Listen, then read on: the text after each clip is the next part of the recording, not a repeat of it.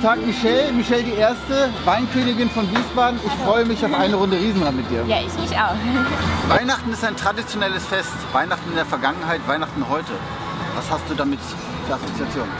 Also ich denke da auch ein bisschen an meine Vergangenheit natürlich auch ähm, und an die Vergangenheit unserer Familie, weil bei uns war es eigentlich immer so, dass wir Weihnachten sehr groß gefeiert haben, weil es einfach ein sehr gläubiges Fest auch ist und wir auch alle sehr gläubig sind in unserer Familie. Ähm, mittlerweile ist es leider so, dass sehr viele Generationen unserer Familie auch gestorben sind und es mittlerweile, finde ich, auch ein bisschen den Glanz auch leider verloren hat, gerade auch durch die Arbeitswelt oder durch die Schule eben, weil man so viel Stress um Weihnachten rum hat, was halt eigentlich nicht so der Fall sein sollte, ja. Wie feierst du Weihnachten heute?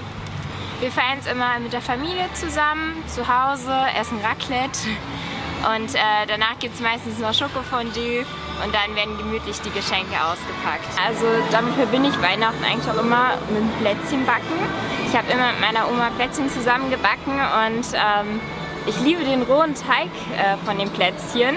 Und da hat meine Oma mir immer ein Brötchen geformt, aber es sah so aus, als ob es gebacken wäre, damit meine Mutter es nicht mitbekommt. Und danach, ähm, nach dem Abitur, will ich erst noch mal einen Monat lang durch die Gegend reisen, ein bisschen Urlaub machen, ein bisschen Entspannung und danach fängt es ja noch an mit dem Studium.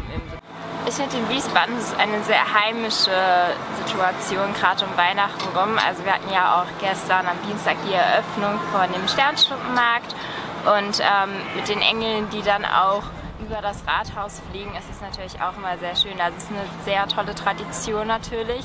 Und ich finde, Wiesbaden macht dieses, es ist zwar was Heimisches, aber trotzdem auch ein sehr großer Sternschnuppenmarkt und mit sehr viel Glitzer und Funkeln und das ist natürlich für ein kleines Mädchenherz ziemlich ganz schön.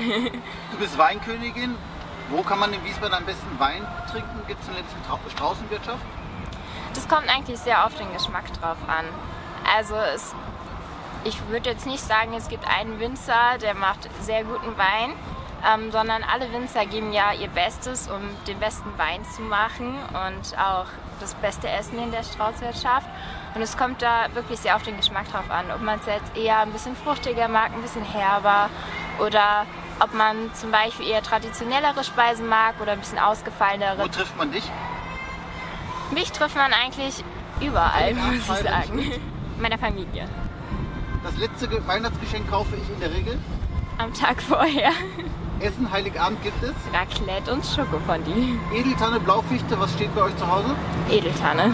Weihnachtsbaum, wer schmückt wann? Mit der ganzen Familie, meistens so zwei Wochen vorher. Weihnachtsmann oder Christkind? Weihnachtsmann. Bescherung ist um? 21 Uhr. Für die Kinder singen oder Gedicht? Gedicht. Geschenke auspacken vor oder nach dem Singen? Nach dem Singen. Hausmusik oder CD? Hausmusik. Textsicher, welches Lied muss sein? Last Christmas und sehr textsicher. Wow, das würde ich gerne hören. nee, lieber nicht. Äh, Kinderwünsche, welche Wünsche hast du? Erwachsenenwünsche, welche Wünsche sind deine?